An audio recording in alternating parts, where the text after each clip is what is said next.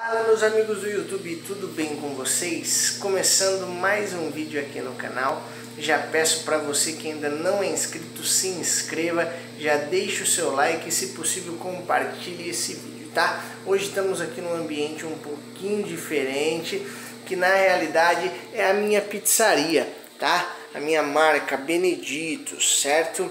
É, quero mostrar aqui para vocês porque aqui foi onde tudo surgiu, aqui é onde pago as minhas contas, aqui é onde eu posso sonhar, aqui é onde surgiu a loja Santo Brás, né? Então tudo saiu aqui da pizzaria Beneditos, onde eu tenho aqui até uma tatuagem da minha logomarca, porque realmente é muito importante para mim, tá? Quando eu comecei a pizzaria, eu tinha apenas esse forno, tá? Esse é um forno é, modelo de Volpe, né? Não é da marca de Volpe, mas é um forno semelhante a essa marca, tá?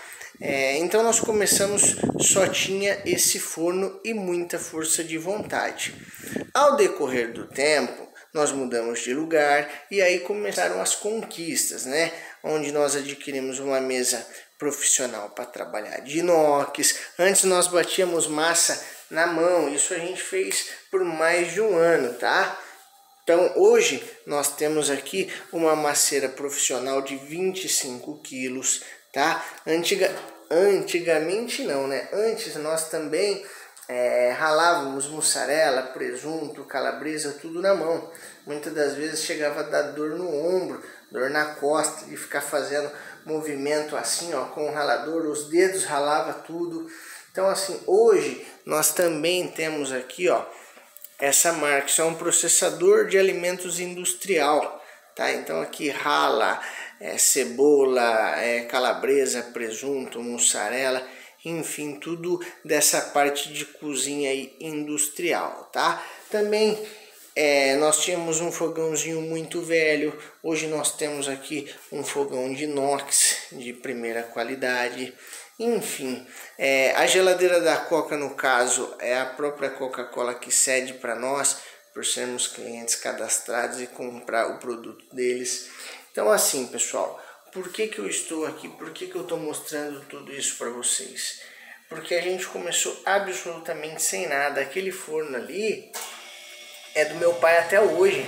Tá? Então ele emprestou para nós por não estar usando e ter praticamente novo lá parado na casa dele. Como eu já havia trabalhado com pizza antes, então ele falou, não, vou te dar essa força, volta a trabalhar com pizza. A gente estava numa fase, é, eu com a minha esposa, muito negativa, né? Onde a gente tinha tentado diversas coisas e parecia que nada dava certo. Então a pizzaria foi a grande salvação para nós, tá? Mas assim, o que, que eu quero mostrar para vocês, o que, que eu quero trazer aqui para vocês com essa história?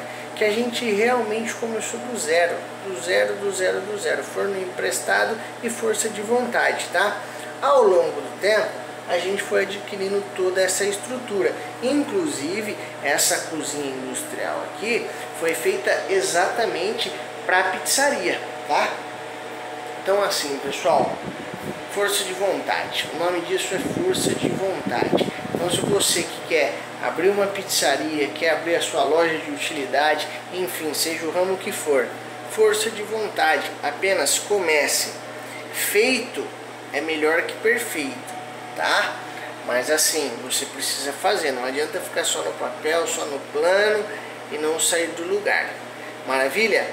É, vou voltar com mais vídeos explicando sobre a pizzaria, tá? Para quem tem interesse nesse assunto e vamos continuar falando sobre utilidades também. Valeu, muito obrigado e até o próximo vídeo.